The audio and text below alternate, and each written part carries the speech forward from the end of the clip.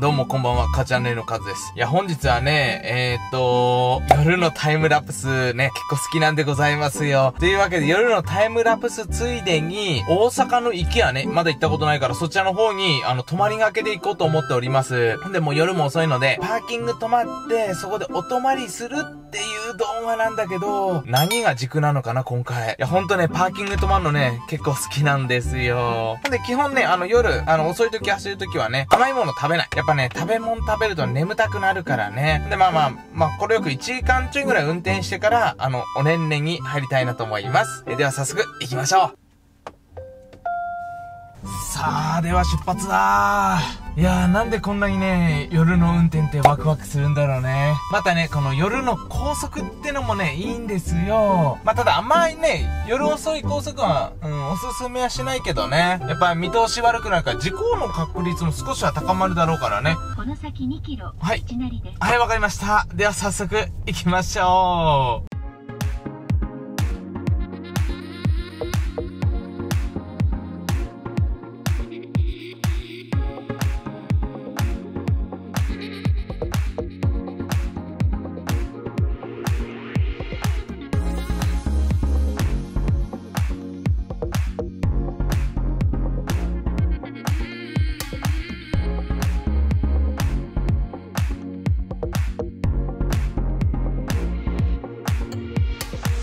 えた見えた。パーキング、パーキング。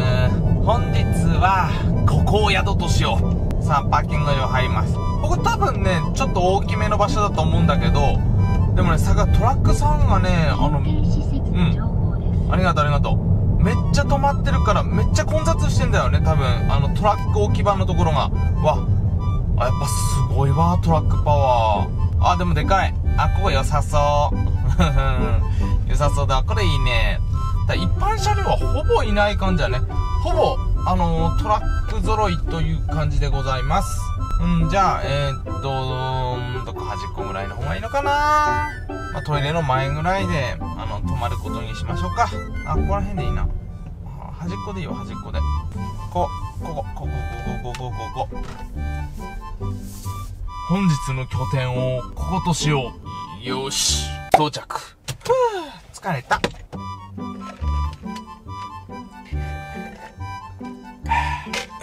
それにしても夜のね、なんだ、パーキングってなんか、やっぱワクワクするよね。で、ちょっとトイレ休憩とかだけして、ねんねタイムとするか。ほら、トラックのところはね、もう全部詰まってるぐらいの勢いだからね。ご苦労様でございます、ほんと。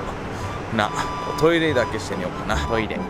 えーと、ちなみに自販機もいっぱいあるしあの店内もねあの一応空いてるような感じでいろいろ食べ物などございますねまあでも夜寝る前は太るからダメじゃあ寝よう寝ようはい、えー、そんで本日はね、車中泊シリーズ。まあ、このパサートだと2回目になるんだけど、ちゃんと色々勉強しましたよ。まずはね、照明タッコと勉強いたしました。これあの、モバイルバッテリーで光るやつなんだけど、結構ね、明るいんだよね。うん。そんで、まあ、倒すわけだけど、まずパサートはね、これがね、あの、ベンテなの。これ、この頭のやつだね。頭ちょっと出しとくとね、さらにフラットになる感じになるんかな。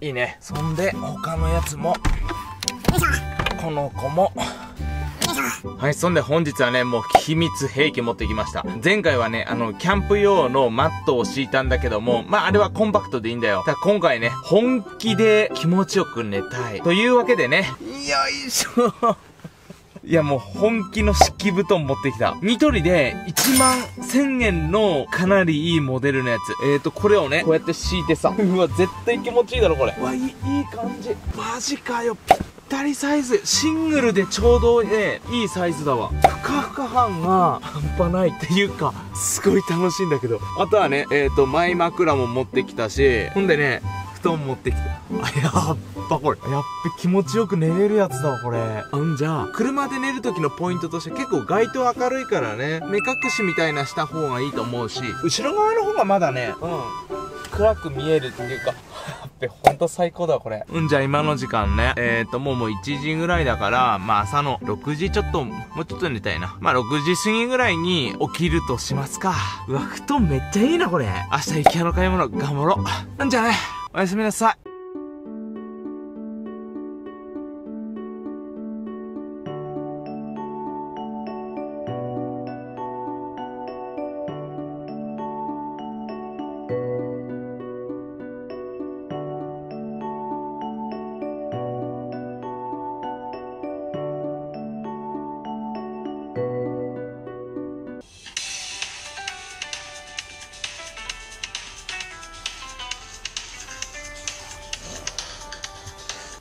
喜んでた